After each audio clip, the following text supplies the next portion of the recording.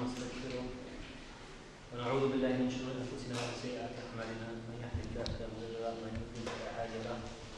نشهد أن لا إله إلا الله وحده لا شريك له ونشهد أن محمدا عبده ورسوله. اللهم صل وسلم على سيدنا محمد وعلى آله وصحبه أجمعين. السلام عليكم ورحمة الله وعليكم السلام. Just uh, whenever we come to discuss one of the personalities of Islam, we always remind ourselves at the beginning, first and foremost, that after the Prophet Muhammad wasalam, every single person who came after him, including the companions and after the companions, it applies more.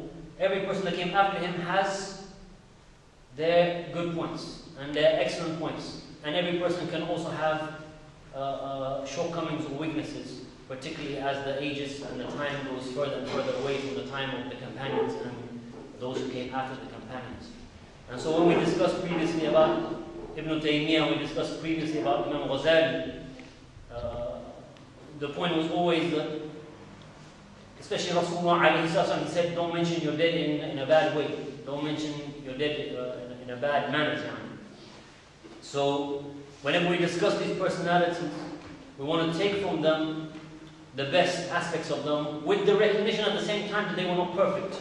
Because there is no perfection for man except for Rasulullah alayhi salatu wasalam. Yani from- Islam, Rasulullah was the last one who Allah subhanahu wa ta'ala protected, made him perfect in order to convey the message of Islam to us.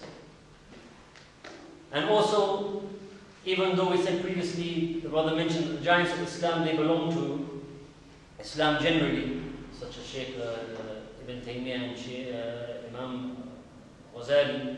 Of course, Hassan al-Banna is very well known because he is the founder of the group Jama'at al-Ikhwan al-Muslimin, the, the, the Muslim Brotherhood. Let me just give a little bit of background, inshallah. In the year 1924,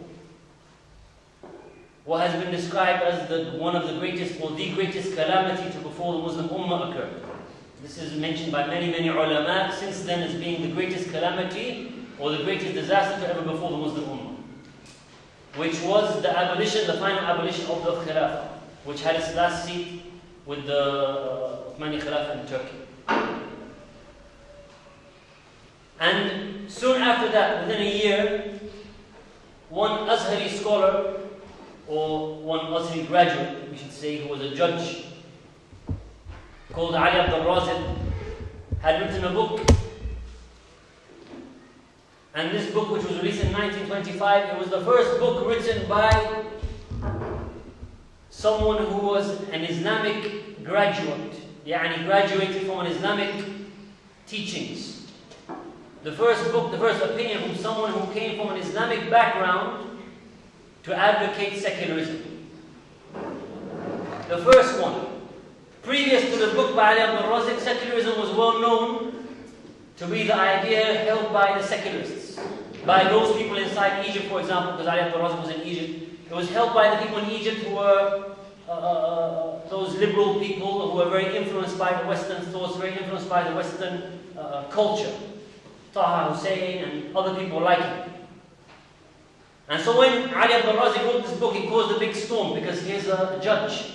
Not only a judge, a Sharia judge, who was a graduate of uh, uh, Azhar University, writing a book where he's saying that in Islam, this thing called Khilafah was something made up. That this thing called siyasa had nothing to do with Islam.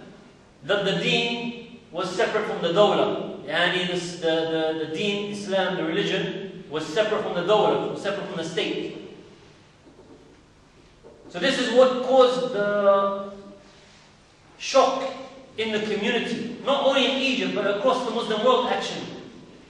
It caused a shock because while it's acceptable or not acceptable, why it's understandable that a man like Taha Hussein, who's influenced by the Western culture and you know uh, influenced by the Western thoughts and is very liberal, while it's understandable someone like him can come with such an idea because that's a purely Western idea, it was something amazing that an Azhar graduate could come with these ideas.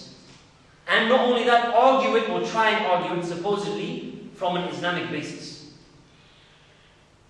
And so the first one to stand against him was Sheikh Rashid Rida. And so Rashid Rida began to write inside his uh, Al Manar magazine, he began to write article after article criticizing this book and exposing this book and exposing the arguments as being completely invalid arguments and showing how Islam, the Khilafah system was part of Islam from the very beginning. And how Rasulullah alayhi was a politician and a leader as well as a prophet and a messenger. And how the Khulafa after him ruled not according to their own whims and desires, but they ruled according to the Kitab and the Sunnah. And then Rashid brother began to call upon Azhar to come out and say things, to come out and take a stand. This is one of your own graduates. One of the Azhar graduates has come out and say this, so Azhar has to take a position against him. And at the same time, there were ulama even as far away as Tunisia, such as Ibn Ashur, who are writing books criticizing and refuting the ideas of Ali Abdul Razik. And then the Azhar came together and the Council of Ulama of 23 scholars called Ali Abdul Razik to court. And so Ali Abdul Razik came to court, and basically it was a court upon whether this man, his ideas were heretical. Already when he came to court, it was clear. He said, entered the court, he said, Salaam alaikum. And you can even read inside the news reports about this issue. He says Salaam alaikum and no one replied to him. So he entered into the room with 23 other scholars. He says Salaam alaikum. He's entering as an other scholar as well. Salaam alaikum. The 23 of them remain silent. Then they began to list all the charges against him, send him out of the room, and later on they come back and they issue their fatwa made up, I think, of seven points, which completely refuted everything that Ali Abdul Razik was saying. And then even the Shaykh al-Azhar at the time wrote a whole book called Al-Islam wa Haqiqat al-Hukm, Islam and the reality of the rule. And in that book he began to list all the examples of Rasulullah wasalam, implementing education policies, implementing military Every aspect of ruling, he was bringing examples from the Sunnah and how Rasulullah salatu acted in those particular areas. So this was happening, brothers, at 1925, 1926. And so what they did with Ali Abdul Razik, they removed him from the circle of ulama. Yani they took away his ajaz and they took away his uh, right to be an Azhari graduate. It's like cancelling your degree. You had your degree 10 years ago, khalas, no, your degree is now cancelled. So he was cancelled. He was no longer an Azhar Sheikh. He was an ex-Azhar Sheikh. Cancelled by who? By the Council of the Great Scholars from Azhar. This was the position they took in front of this man. Because he was someone, he wasn't just like Taha Hussein and these other people who were, everyone knew them to be westernized and lost people, liberalized people who had no idea about Islam. This was a man coming along claiming to be a scholar of Islam. And so they had to put this right straight away. But the problem wasn't. The problem, brothers, was even though they expelled him, even though they written all these books showing that Islam was supposed to be part of the ruling and the Khilaf was part of Islam, and the society continued to go down. Khilafah was abolished and no one was bringing it back again. At the time in Egypt, the immorality and the, uh, the liberal values were appearing more and more in the society. The newspapers and the journalists were writing more and more about it. The books were being released, pushing for liberalism and these kind of ideas.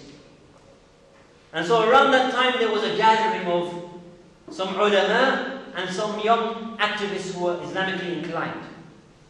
And one of these ulama, his name was Sheikh uh, Dajwi.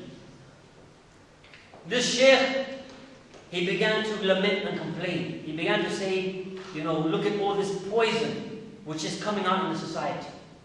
And then he began to complain about the weakness of the Islamic forces in front of all of its enemies. And then he began to talk about his group, or a group which he had been working with. This one today is called Nahda al-Youth, or Nahda al-Youth. This one in the time of uh, Sheikh al-Dajwi, he would call it Nahda al-Islam, Revival of Islam. This was a group which they had, talking about the revival of Islam. He said, this group, we've been writing lectures. We've been going to conferences, we've been presenting papers, and it's made absolutely no difference. The society is going downhill. And so then the Shaykh, after his complaining, he said, You know what? In this time that we're living in, in this day and age that we're living in, it's enough for someone to save himself and to protect his deen.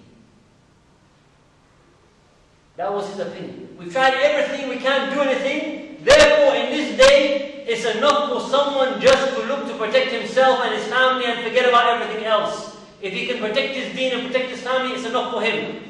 He quoted the ayah, لا يكلف الله نفسا إلا وسعها. That Allah does not burden a soul by more than what it bears. And then inside that sitting, inside that very gathering, one young man said to him, Ya Shaykh, Wallahi, I don't see the things the said, I don't see the things the way you see it.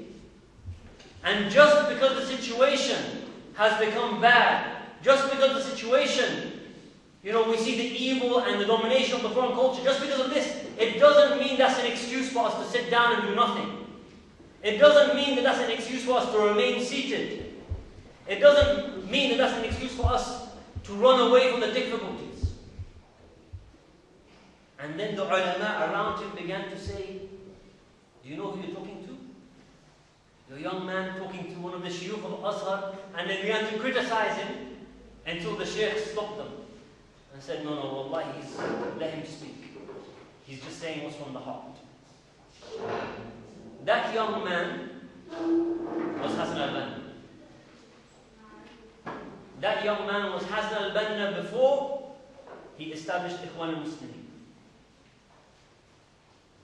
That young man who sat there and said to the Shaykh, لا أرى كما ترى. I don't see it the way which you see it. That young man in 1928, when he was a teacher in Ismailiyah, a group of young men came to him and they said to him, We need to do something for the sake of Islam. And we do not see the path the way that you see the path. And so then be our leader. And upon that basis, in 1928, the Muslim Brotherhood was born. So let's briefly mention who was this man, Al-Shaheed Hassan al-Banna, who was born 1906. So at this time, 1928, by the time he established Ikhwan al-Muslimin, makes him 22 years old. Yani the time when he stood up and confronted the Shaykh, or tried to not confront the Shaykh, what I mean is, let the Shaykh know that this defeatism and pessimism was not from Islam, he was maybe 20 years old. So he was born in 1906 to a family. His father was someone quite religious, mashallah. And I think he's written, authored a book which has some ta'liqat, has some comments on the Musnad of uh, Imam Ahmed bin Hanbal. And at a young age, he memorized Quran. From a young age, 10, 11, 12, something like this, Hassan al-Banna had memorized Quran at the hands of his father. And he used to, after the Fajr prayer inside the masjid, he used to attend the jalasat the ulama. And so, for example, he mentions how he used to sit and they used to discuss issues like Usul al-Fiqh. And they used to discuss issues like uh, uh, Imam Ghazali's Ihya Ulum al-Din. Obviously, and he was a young man, he was inside the masjid. It's not uh, uh, the great detail, the level of, you know, inside the university courses or something like that. But he used to always love to go to these sessions and participate in them. And also at the same time, while he was growing up, 15, 16 years old, he was also a member of the Hasafiya Sufi order. So he was also a Sufi at that time. But even though he was a Sufi, he mentions, even though I was into the Sufiya and I had I used to follow this order, at the same time, whenever there was any political issue, I used to go on the streets with the rest of the people. So he used to take part inside the protests that were taking place after World War I against the British, which was taking place in, in Egypt at that time. Then when it was time for him to go to university, his family or his father, or, they wanted him to go to Azhar. But he did not want to go to Azhar. So he didn't go to Azhar University to become yani, the uh, sheikh by qualification. Like Ali Abdul Razak. But rather, he went to Dar al-Ulum, which is the college for teaching Arabic language and other subjects, but it's very famous for the Arabic language. And after that, he became a teacher, which is why he was in Ismailiyah, because he'd been sent to be a teacher in that area. And so, Hassan al-Banna, you see that he grew up in an Islamic household, and you see that he grew up in an Islamic environment, and you see the people that he was spending time with, people like Rashid Rida, uh, and all these ulama who were in the sitting of uh, uh, Sheikh al-Dajwi. So he grew up around these personalities and he grew up at the time when the Khilafah was abolished and this whole argument was taking place between Ali Abdul Razik and the ulama of Azhar and Rashid Rida. So he grew up witnessing all of that. He was in his university years at this time, or just finished. So he was really involved in all these kind of issues. And so he knew, he knew the fundamental importance of the Khilafah to Islam. Which is why he said inside his own words, أن الخلافة رمز al-ummah," That the Khilafah is the symbol of the unity of the Ummah. And that's why he also mentioned some years later when giving speech for Ikhwan al-Muslimin in one of the conferences, he said, الإخوان المسلمون يجعلون فكرة الخلافة والعمل لإعادتها في رأس مناهجهم.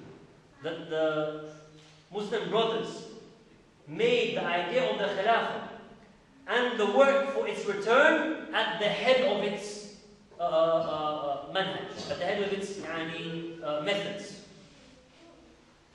So he understood the importance and the centrality of the Khilafah in Islam, and he also understood the importance of government and governance in Islam, which is why he said that the Ikhwan al-Muslimun, what had they done? يَجْعَلَ الْحَكُومَ رُكْنًا لِلْأَرْكَانِ They had made the government, a pillar from amongst his pillars, a pillar from amongst the pillars of his principles. And Hassan al-Banna also understood how authority was needed in order for Islam to be implemented. Which is why in his writings he used to write about the words of the Khalifa, Uthman bin Affan, that the Sultan, the authority was there in order to correct by the sword or by the authority, in order for Allah to correct with the authority, what was not corrected by the Quran. Yani the one who does not have taqwa and prevents himself from doing the wrong things, then the law prevents him from doing the wrong things. So Hassan al-Banna grew up in this environment and grew up with these ulama inside these discussions. And so he understood all of this. And he grew up seeing a society which had been colonized and occupied by the British. And even though even though in 1922 the Egypt was given its independence, supposedly, he knew this was an independence only on paper. Why? Because the British were still in control of the government, practically speaking. Even if there was the king, and there was the parliament, and there was the constitution. But it was the British ambassador who used to say, jump and everyone jumps. Sit and everyone sits. Not only that, but the critical areas in Egypt, such as the Suez Canal, was underneath the authority and the ownership still of the British. It's like someone takes your house and says, you know what? You can have your house back and you can stay inside the toilet and we'll take the rest. And because this obviously the Suez Canal is such a vital importance strategically inside that area for the ships to pass through. So the British did not want to give that back to the sovereignty of Egypt. They remained underneath the uh, British sovereignty, or underneath their company's sovereignty. And at the same time, liberalization or liberalism and secularism was being really uh, pushed inside the society. And at the same time, the Muslim ulama and the Islamic leaders were having almost no effect whatsoever upon preventing this from taking place. And this is why Hassan al-Banna, when he saw all these issues taking place inside the society, he stood up to the Shaykh al-Dajwi and said to him, this is not an excuse for us to remain seated. But he didn't just say it, brothers. He wasn't one of those people who just says, you know, says something and then he doesn't do it. Why do you say that which you don't do? But rather he acted upon his words. And he realized and recognized that the masajid was not a place for the da'wah in those days. Because the masajid was somewhere where everyone came just to receive the normal Islamic knowledge. What I mean by the normal Islamic knowledge, I mean what they considered by taqleed, the Islamic knowledge. Yani, when people came to the masjid, they expected to be told about tahara, and about salah, and about siyam, and maybe on a good day about akhlaq. This is what the people were expecting when they went to the masjid because their minds had been told that Islam is nothing to do with ruling and it was beginning to take root inside their minds. So what did he do? Hassan al-Banna left the masajid. He didn't used to give da'wah inside the masajid, but rather he used to go around all the cafes and give da'wah in the cafes. And it's mentioned that he used to give the da'wah there and people would sit and listen to this young man. Don't forget he's 20, 21 years old at this time. Young man coming and telling them about Islam. Very strange. Someone comes to the cafe where people are sitting down, drinking the tea, drinking the coffee. These are more religious people. And he's there telling them about Islam, reminding them about heaven and hell, trying to give them some guidance. And he would keep a short, you know, short discussion and then he would stop. And then the people would offer him, come and sit down with us and drink some tea, drink some coffee. And say, no, no. He would refuse to take any tea or coffee from me. He said, I don't want to take payment for what I've done. That was his mentality, subhanAllah. Today, yani brothers, people tell me that they run the Islamic society, and if they want to bring someone to come and give a talk inside the Islamic society, such and such a sheikh costs 50 pounds. This is the small sheikh. The bigger sheikh costs 150 pounds. And if you really want the big, big sheikh, he costs 500 pounds. And one is very yani, astounded by such words like this. Alhamdulillah. So Hassan al-Banna refused even just to take a cup of tea or a cup of coffee from them because he wanted to make them realize that he was doing this simply for the sake of Allah uh, subhanahu wa ta'ala. And this style attracted a lot of people, a lot of young people to him. So when he was transferred to Ismailia to be a teacher there, he found himself in, in, a, in an even worse situation in the sense of the society because Ismailia was full of British people. And so he used to see all the time the British army and the people, whatever else. And he, he, he used to become very frustrated by this. And so he used to give khutbah against them, and he used to still do the same thing go around to the cafes and give the da'wah. And this is how a number of these youth people, hearing him giving the da'wah, they're the ones who came to him in his house and said to him, We have to do something, Ya Shaykh. And you're the one who sees what we should do. We don't see. We just know we have to do something. We know we should do something, but you're the one who knows what we should do. And so, take agreement from us and let's go forward together. And so then they took an agreement, they took a contract with each other to establish a brotherhood, to be what? To be mujahideen inside the da'wah. To be soldiers inside the da'wah to Islam. And this is how Hassan al-Banna went around attracting the people to Islam because he wasn't giving them that same message which was being heard inside the masjids. Rather, he was going to them in the cafes and telling them the reality of what Islam was about. And so he told them, Al-Islam, deen, or Islam hukum wa tanfid. Islam is the law and it's the implementation of that law. كما هو تشريع وتعليم. Just as it is legislation and education. كما هو قانون وقضاء just as it is law and it is uh, judging يعني judging between the people. And Hassan al-Banna was well known for struggling against secularism. After he established Ikhwan al-Muslimin they used to have different newspapers which would come out and different leaflets which would come out. He was very well known for taking such a strong stance against secularism. Such that when Taha Hussein wrote a book in the 1930s uh, proposing these ideas, more secularism and more Western liberalism and so on and so forth. And everyone can return back to the books of Taha Hussein if they really wish to and see the things he was talking about.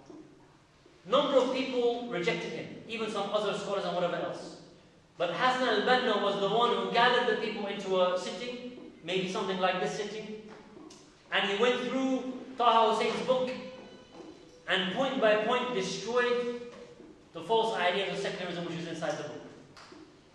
But what was amazing about this situation was that Taha Hussein himself attended in secret. So he arranged to attend the meeting. It'd be like someone sitting behind the curtains at the back, so he wouldn't know that they were there. So he arranged to attend the meeting in secret and he sat there listening to everything which Hassan al-Banna has said. And then he contacted Hassan al-Banna later and said to him, I came to you and I listened to what you were saying, but I did it in secret. And he said, Wallahi, wait, no Wallahi, because this man is a secularist. But he said, You're the only one out of all the people who reject me and rebuke me, you're the only one who I come to listen to. Because everyone else is kalam farid, and it's empty words. Whereas you have something specific to say. So this is what Hassan al-Banna was well known for. However, even though he was giving this da'wah to Islam, and the da'wah to implementing Islam, al-Islam hukm wa tanfeed, it's a rule, a law and implementation, he saw that there was a big obstacle in the way of this implementation, which was the British occupation. This was the big obstacle in the way. So he would consistently write in his magazines about how the Quran had to be the basis of the law inside the country and had to be the basis of the government. And he used to account the government consistently. The government at this time, brothers, obviously the British were behind the scenes. The front scene of the government was had the king, and then you had the parliament, and you had different political parties inside the parliament. So you had the liberal constitutionists, and you had the Wafd, and you had different parties there. And you had a constitution backing it all, which was basically taken from the Western European constitutions. And Hassan al-Banna used to account all of these people. He used to count them and said, look, I don't mind the constitution. Because inside the Egyptian constitution it's written that Islam is the deen of the nation. It's written that very clearly inside the constitution that Islam is the deen of the nation. So I don't have a problem with the constitution. This was his opinion. We can discuss his opinion later if need be, but he said, I don't find a problem with the constitution because it says that Islam is the deen. And I don't find a problem with the parliament either. The reason I don't find a problem with parliament is because when you have a ruler in Islam, when you have a Khalifa in Islam, he is supposed to be accountable. So he has to, has, he has to have a Majlis al-Shura, he has to have a Shura council, which accounts him. The Ummah, it's the right of the Ummah to account the leader. And so this parliament is just a way to help us account the leader. So I don't mind the parliamentary system. But the problem with this whole thing is all of the laws that you're passing are not Islamic. They are not according to Islam. And the other problem is that the governments, we are all separated. First of all, within our own country, we have all these political parties. And Hassan al-Banna was someone who said that to have more than one political party was haram. He said to have the Wafd and to have the liberal constitutionists and to have this and to have that. All of these parties and groups are haram. This was his opinion. And he said Ikhwan al-Muslimin is not, is not a party like those parties. He said all this is haram because all these groups, they just run for their own interests. They're not, they're not there to account the rule or anything like that. They're just there to get into parliament. They're just there for their own interests. So that's why it's leading to disunity because each of them is competing with one another. Instead of doing what? You're competing with one another to reach the parliament instead of fighting against the British. That's what's his point. And how can you have a parliament and you have a, a, a ruler and you have a constitution and the British are the ones ruling you? And you're wasting your time competing over getting to the parliament when you're being occupied. It makes no difference how many of you are in the parliament or not because the ultimate decision lies with the occupier. And the other point of disunity was that our Muslim countries should not be separate. And he used to write how it's a big shame that we've been cut into so many small and little nations. And that's been done by the enemies of Islam in order to weaken Islam.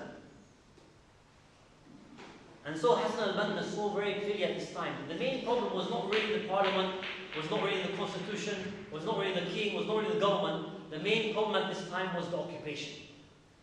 Once they got rid of the occupation, we could be able to rule by Islam. Because, you know, that's what people want. People want to rule by Islam. But he realized as well that it was going to take time for him to prepare his people and his group for those necessary sacrifices and actions to remove the British occupation. And so he made a program. And he said, My program is in three stages. The first stage is just general da'wah and to make people aware of what we're saying. The second stage is to mobilize the masses until we overthrow these people. And then the third stage is the stage of implementation. So you had three stages. General calling the people, then mass mobilization, getting all the people to revolt basically, civil unrest, and then we implement Islam once we're free. And he said each stage will take 10 years. So the first stage, 1928 to 1938, roughly. Those 10 years, just general call. Then the next 10 years, 1938 to 1948, that's when we're going all out, getting the people onto the streets and really accounting, the government accounting against the occupation. This is why you find most of his large conferences and most of his harsh words happen when? In the late 1930s, after the middle of 1930. Before that, you don't hear much from Hassan al-Banna and Ikhwan al-Muslimun. They're having some events here and there, but generally speaking, they're gathering people. And then in 1936, two events happened. The first event, 1936, that the Egyptian government re-signed the agreement with the British regarding the Suez Canal. The agreement was about to come to an end.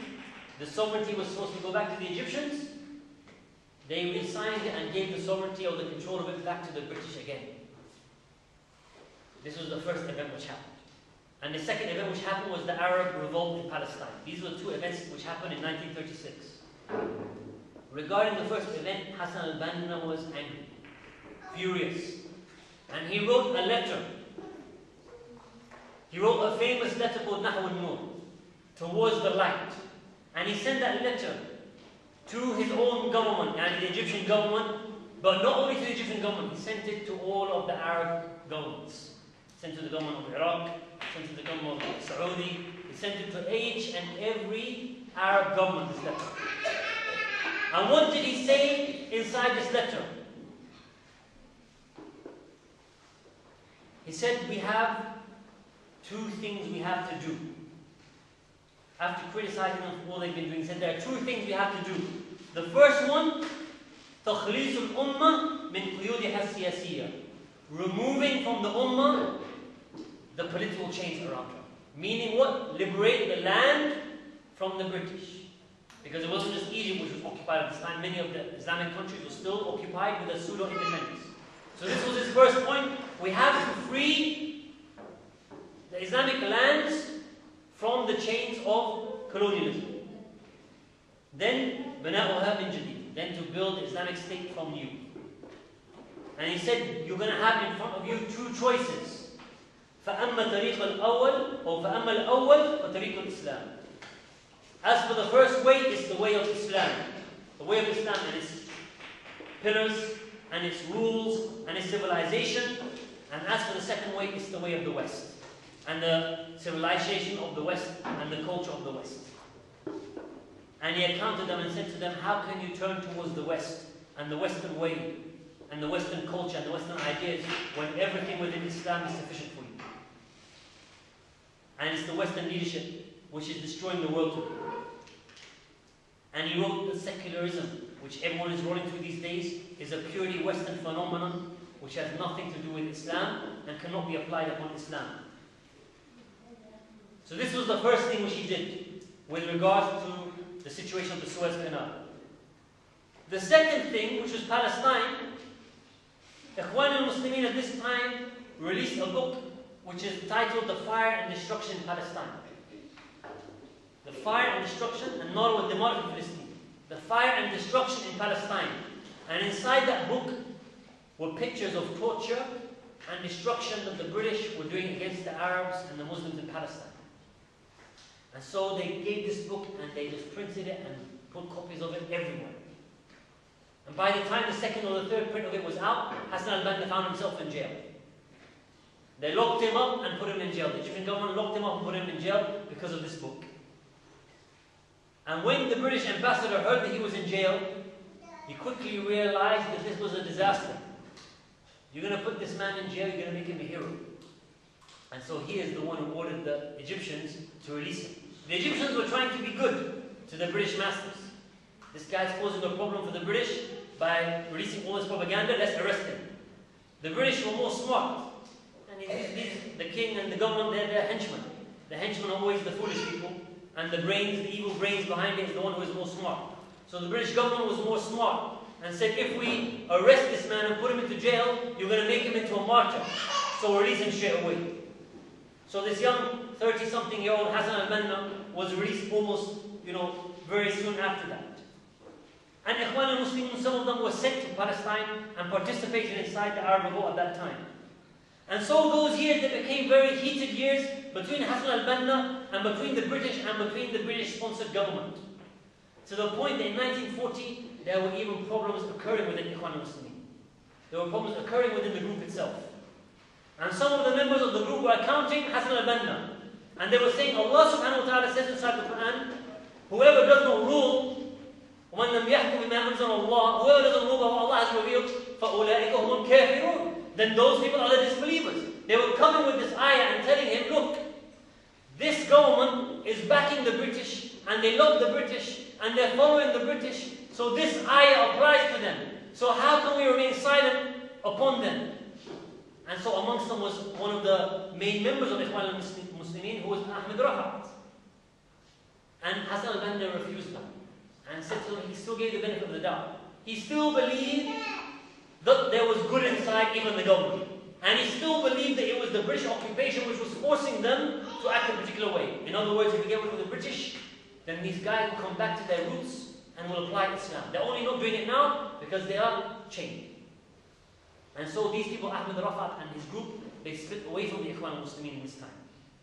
And there was another group uh, uh, formed, which was called the Youth of Muhammad at this time. And this is another, another story about, uh, about this group. Then 1942, even Hassan al-Banna tried to run for elections. Many people look at Hassan al-Banna running for elections and they say, look, Hassan al-Banna, he agrees with the government. And he thinks the government is all okay and we can run for elections today and whatever else, taking everything out of the context. What did Hassan al-Banna say about his own running for election?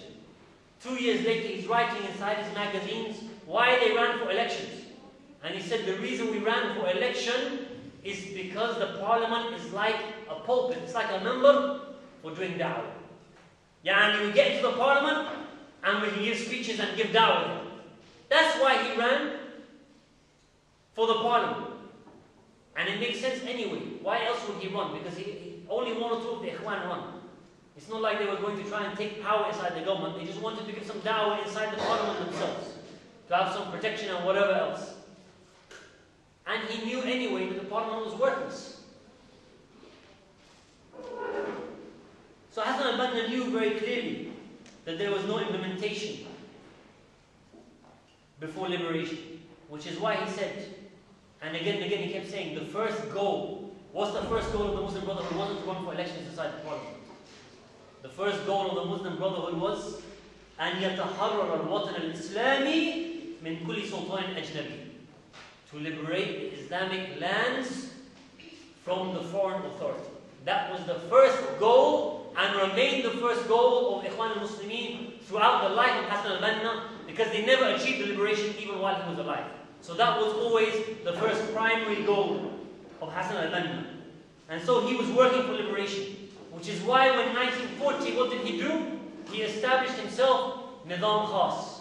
He established the secret apparatus within the Ikhwan Muslimin. His own secret side, which was separate from the public face of Ikhwan, which was like the military face of Ikhwan. Why?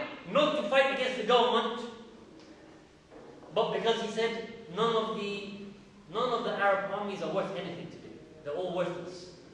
And so we established the secret apparatus in order for the Arabs to have the army, in order for the Muslims to have their army. Yani, this Nizam Khas was intended to fight in Palestine and to fight against the British inside the Suez. That's why the Nizam Khas was instigated and made, not in order to fight against the government or to just create fitna inside the society, as some of the later people said. But he did say in 1940 as well, he did say and warn, if all the doors in front of the Ikhwan al-Muslimin are shut, then we know that we have to use the power in order to open the doors. So he was someone who understood this. And he knew there would come a time, brothers. He knew there would come a time when he would have to confront the British. Do you know one of the first books which he wrote after he established the Muslim Brotherhood? Within the first year of establishing the Ikhwan al-Muslimun, what was his first, one of his first books was Risalatul Jihad. Small little Risala, which he mentions all of the Ahkam al Jihad. This is one of the first little booklets that he wrote after establishing the Muslim Brotherhoods. So by 1948, brothers, this was after World War II, and Hassan al-Banna had had great hope that the government would have done something by then. By 1948, he had lost hope. And then they began to raise what he called it the Ma'arakat al-Quran, the struggle of the Quran. And they began to raise the slogan, Aina hukm Allah? Where is the law of Allah subhanahu wa ta'ala? And a big struggle emerged between the Ikhwan and between the government at that time. And he stated very plainly, he said, if a state does not implement the Sharia, then it will not be an Islamic state, whatever its constitution says. So even if the Egyptian constitution says that it's Islamic, if it doesn't implement the Sharia, then it's not an Islamic state. And he said, if the people are content with that, are content with the people, with the state not implementing Sharia, then they are not an Islamic people, even if they claim to be. These were the words of who? Hassan al-Banna. Then, as a result of all these struggles and the unrest and the bombs went off, because at this time in the Nizam al-Khas began to fight against the British, and so bombs went off in the different hangouts that the British used to stay in, and the armies and the soldiers and whatever else, and some of them were killed. Then Nukrashi, who was the prime minister of the time, banned the Muslim Brotherhood. This is 1948. And in December of 1948, Nukrashi himself was assassinated, killed by one young member, rogue member of the Muslim Brotherhood. Yani Hassan al-Banna straight away came out and denounced this action and said it's a wrong action and he's not from the Brotherhood. And then within two months in the February of 1929, Hassan al-Banna himself was assassinated. Allah, we ask maybe inshallah that Allah subhanahu wa ta'ala accepts him as shaheed in Allah ta'ala. Be established.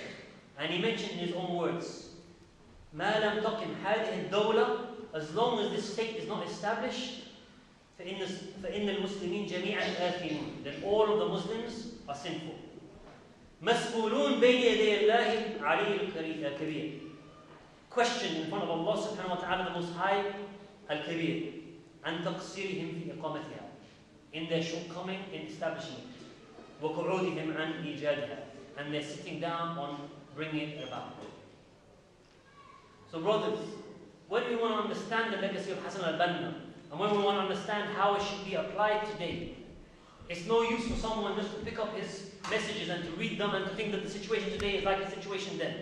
Because he was a man who was living underneath occupation. And so he didn't know what to deal with the government until he first removed the occupation.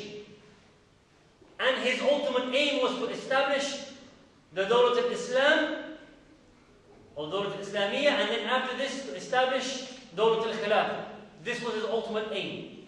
And unfortunately, by the will of Allah subhanahu wa ta'ala, not unfortunately, by the will of Allah subhanahu wa ta'ala, this man was killed before he even saw the liberation of Egypt. But if he had seen the liberation of Egypt, my brothers, if he had seen the liberation of Egypt and saw what occurred afterwards,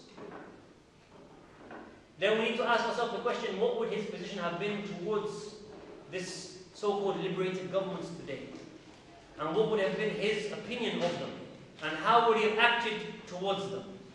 And this is the kind of message, or these are the kind of questions we need to ask ourselves in a deep and uh, yani thorough manner, rather than simply taking the slogans of Hassan al-Banna and saying them today as though the situation of Egypt today underneath Al-Fir'aun uh, Mubarak is the same as the situation of when he was living underneath the occupation of the British. وأقول قولي هذا واستغفر لي ولكم وسائر المسلمين